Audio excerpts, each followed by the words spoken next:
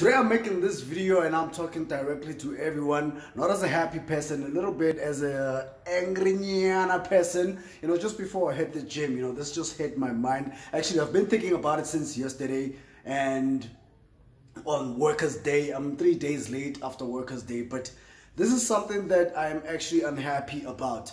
And the reason I'm unhappy about this is because there's so much complaining when it comes with what I'm going to talk about in this video the problem or the issue of unemployment in South Africa.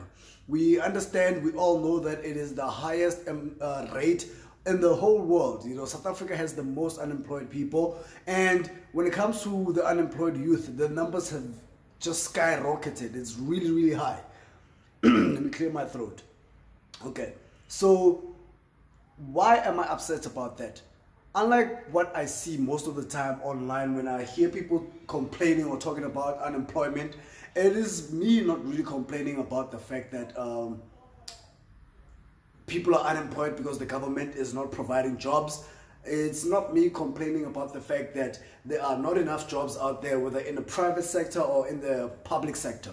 What I'm going to complain mostly about in this video is more of a question to everyone when are we, when are you as a person going to take responsibility? When are you going to be accountable for your own life and understand that there is no one out there who is coming to save you from your unemployment. You know, I've made a video in the past talking about there is no one out there to save you, but I was specifically talking to men in that video, but right now I'm talking to everyone and especially young people within the age ranges that I'm in, which is between 22 and 35. If you are unemployed, if you have a job that you are not happy with and it's a very low paying job, it is not anyone's fault but yours. Okay, this is to say that you have to take the accountability and the responsibility for yourself. Okay, there is ways that you could make more money if money is the thing that you are looking for specifically when you are in a job, whether you like the job or not if you are looking for something that is a dream job or if you are looking to do something that you are passionate about, then you could be doing that. But instead, you are complaining that there are no opportunities out there. I remember one time watching this YouTube video, I think it was from SABC One. They did an interview talking about the high unemployment rate in the country, and they had an activist uh, talking there and the guy was literally complaining that he has 10 or more business plans that he has submitted and he never got any funding.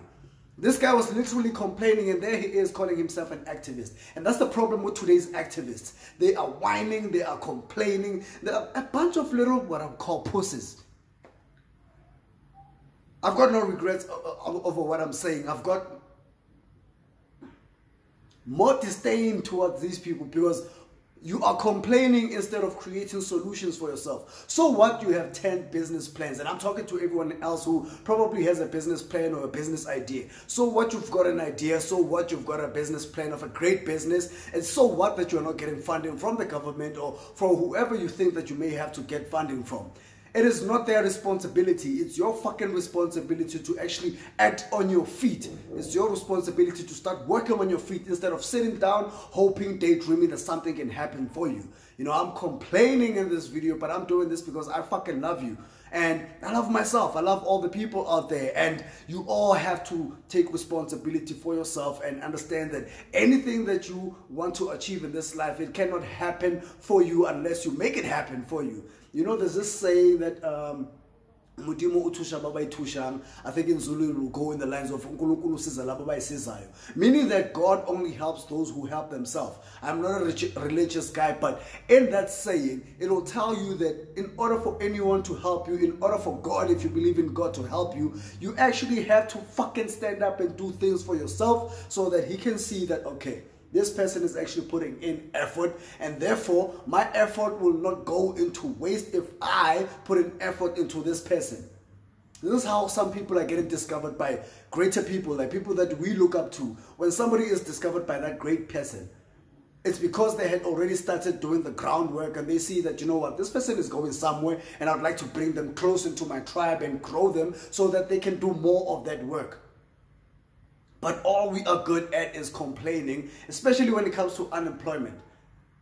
I'm going to challenge anyone who watches this video up until this point. If you are in a township or if you are in the city and I've been to some rural areas.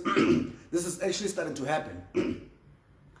Take a walk of just 10 minutes and tell me if you will not find a foreign national documented or undocumented doing a business that you look down on but this person is making way more money than you and probably your entire household doing something that you look down upon because it is beneath you because maybe you are educated, maybe because you have a diploma or you have a matric certificate, and therefore you will not stand in a corner and sell bananas and apples and tomatoes, or you will not push a trolley around your neighborhood or your township just because it is something that's beneath you.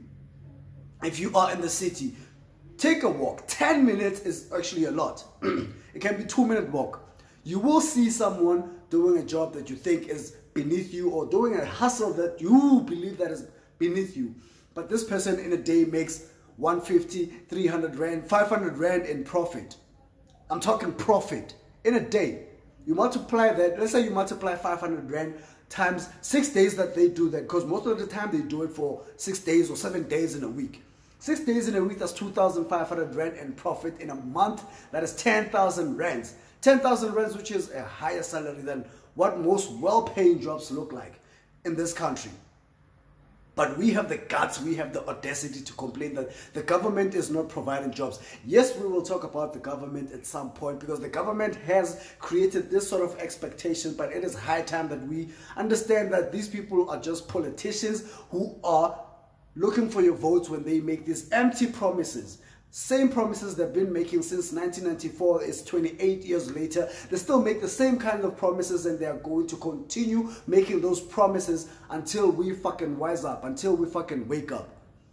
And all, and all I just want to say in this video is that take accountability and responsibility for your own life. Understand that there's no one out here to come help you uproot you out of poverty, whether it be some of your own friends, some of your own family members, or the government of your country. If you're not watching this from South Africa, but if you are watching this from South Africa, understand that the government is not going to do anything for you. The only person who will do anything for you and your family is you. I love you very much, older brother Tshepo here. If you like this video, click on the like button, watch other content, and be on the lookout for Virtual Mkhukhu. Virtual Mkhukhu is a great platform for all entrepreneurs, including myself, that I learn from the greats. This is from DJ Sbu and now partnering with another person I've been following for a very long time, whom is Penuel the God, Penuel the Black Pen, you choose who you want to call him. And the platform is called Virtual Mkhukhu under the Hustler's Corner. It's a fucking amazing. Go subscribe to their channel, subscribe to this one as well. Hit the like button, it really helps with the YouTube algorithm. Much love to all of you.